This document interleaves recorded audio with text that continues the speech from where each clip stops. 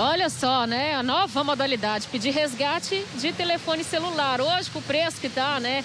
Os aparelhos celulares, era isso que esse espertinho, que esse ladrão, esse criminoso fazia. Ele só atacava mulheres, viu, Silvier? O aspirante Diego Moura já está aqui do meu lado para contar.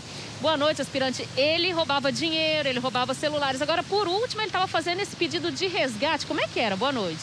Sim, boa noite. É, esse indivíduo já tem passagem aí por, por roubo ele roubou 5 mil reais e de uma mulher. E ele é especialista nessa modalidade, rouba só mulheres. E roubou um celular de uma, de uma moça no Jardim Miramar, em Aparecida de Goiânia, às 8 horas.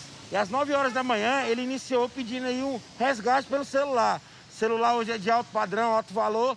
Esse indivíduo, além de roubar, ele tentou ir pegar um resgate. Só que ele é um folgado. E além de, de ele estar tá querendo fazer e burlar a vítima pela segunda vez, ele ainda marcou a casa dele como local para entrega do dinheiro e ele entregar o celular para a vítima, para a mulher.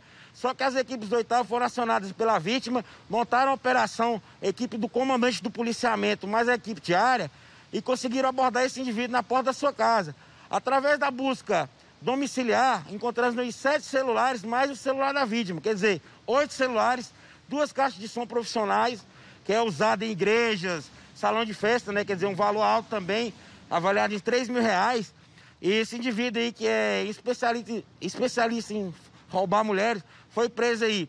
Ele tinha um mês que tinha mudado para Aparecida de Goiânia, só que ele não sabia que as equipes do 8 Batalhão aí não dão mole pro ladrão lá em Aparecida. Quer dizer, com um mês aí ele já vai ter que mudar. Ele, quando ele sair da cadeia, né, ele vai ter que. não vai voltar para Aparecida, porque ele sabe que lá ele vai levar se ele aprontar, ele vai cair de novo. É isso aí. Agora, Silvia, deixa eu falar uma coisinha. Jornalista é bicho curioso, né? Tava aqui esperando para entrar com o aspirante, né? Falei assim, olha, aspirante, mas hoje o senhor não veio com, com a equipe, com os outros policiais, tá com a família. Ele falou, hoje é meu aniversário.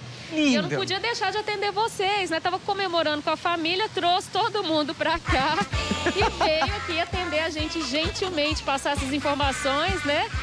E está fazendo 34 anos, parabéns. Feliz Obrigado. aniversário para o senhor, em nome de toda a nossa equipe, né? Obrigada. Obrigado. E olha, o pessoal da família tava um pouquinho com vergonha. Vamos, vamos ver se o Douglas mostra. Ah. Quem está aqui? Vem cá, é a mãe, é a mulher. Vamos. Como é que é o nome da senhora? Iranice.